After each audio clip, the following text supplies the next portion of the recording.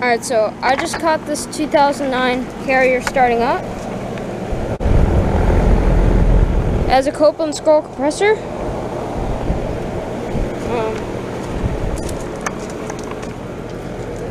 there's like a water bottle here for some reason.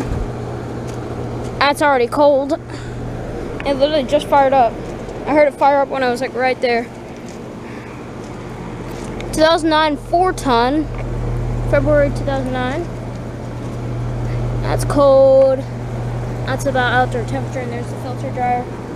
There's a big disconnect box right there. GE motor. These are running. I caught this one defrosting back in March.